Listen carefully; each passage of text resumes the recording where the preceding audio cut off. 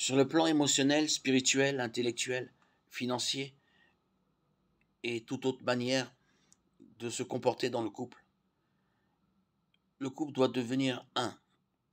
De même qu'une partie du corps prend soin des autres parties du corps, l'estomac digère la nourriture pour le corps, le cerveau dirige le corps pour le bien de l'ensemble, les mains travaillent pour le bien du corps. Chaque partenaire du mariage doit prendre soin de l'autre. Chaque partenaire ne doit plus considérer l'argent gagné comme mon argent, mais plutôt comme notre argent. Éphésiens 5, 22, 23. Et Proverbe 31, 10, 31 applique cette unité au rôle du mari et de la femme, respectivement.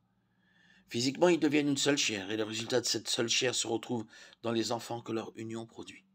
Ces enfants possèdent désormais une constitution génétique spéciale, spécifique à leur union.